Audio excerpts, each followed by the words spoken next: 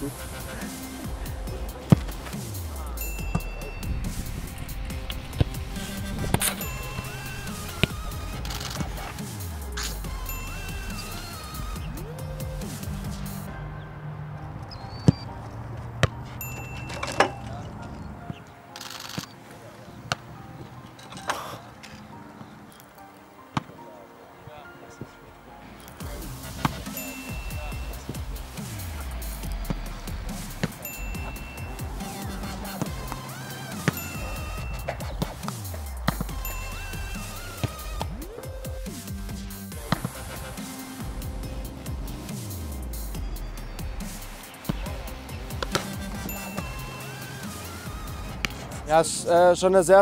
He's got a special shooting technique, and he's shown that often already.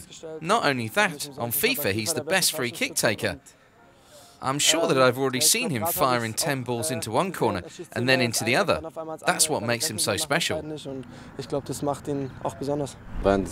Bernd proved a strong opponent, so it was never going to be easy. It was a lot of fun, and that's important. Also, that a great keeper was in goal because I was able to see how I measure up against the best.